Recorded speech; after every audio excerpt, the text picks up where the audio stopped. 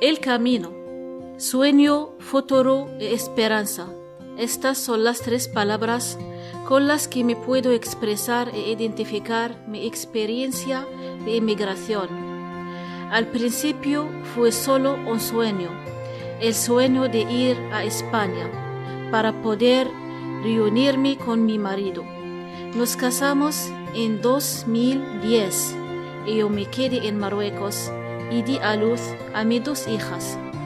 El sueño se hizo realidad en 2019, donde mi esposo pudo regular la reagrupación familiar.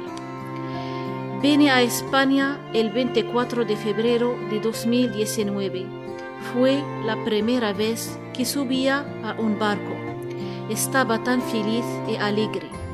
Llegamos a Almería y vemos sus montañas, su naturaleza y sus caminos y con esa ilusión llegué hasta Cartagena.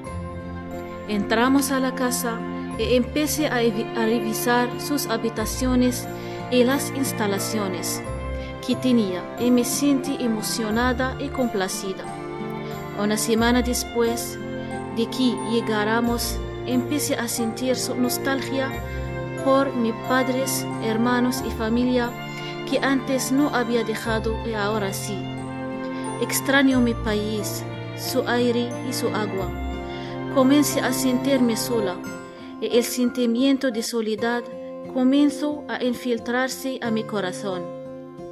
Mi marido completó los documentos de nuestras residencias, las tarjetas sanitarias y la inscripción de las niñas en la escuela.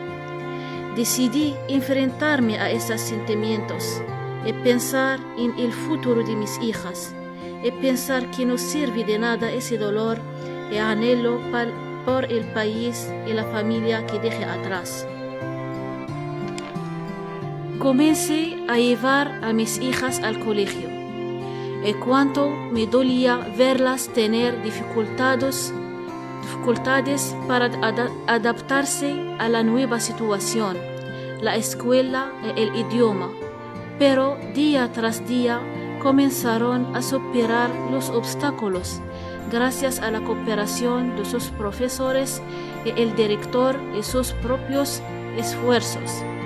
Yo también me inscribí en el Centro Intercultural de mi barrio, Los Dolores, con mi querida maestra Isa, y comencé a estudiar y a poco a poco aprender el español. De forma paralela, estaba estudiando un curso de competencias claves niveles 2 y 3. Y pasé el examen y obtuve el diploma, además de cursos online con CEFCAR. También estudié un curso de auxiliar de almacén que terminé con prácticas en una fábrica de Torre Pacheco. Yo quería trabajar para mejorar mi nivel de vida, asegurar el futuro de mis hijas y seguiré estudiando y buscando una oportunidad.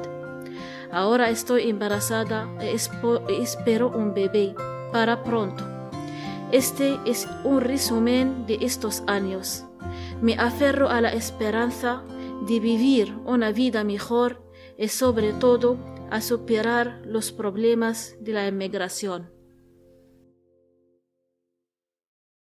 El 21 de mayo celebrar el Día Mundial de la Diversidad Cultural. Cartagena es una ciudad muy diversa. Esta diferencia de culturas se puede ver en muchos sitios de nuestros barrios como la escuela, las tiendas, los restaurantes e en general su gente. La diversidad cultural nos enriquece y nos hace ver no hay una cultura mejor o peor solo que hay que respetar lo que es distinto. Todos somos iguales, pero con costumbre diferente. Vivimos en un mundo cada vez más complejo y intercultural, un mundo en el que personas de orígenes diversos conviven en un mismo espacio, creando nuevas relaciones, nuevas entidades mixtas y nuevas culturas. 3. Oliendo culturas rompemos fronteras.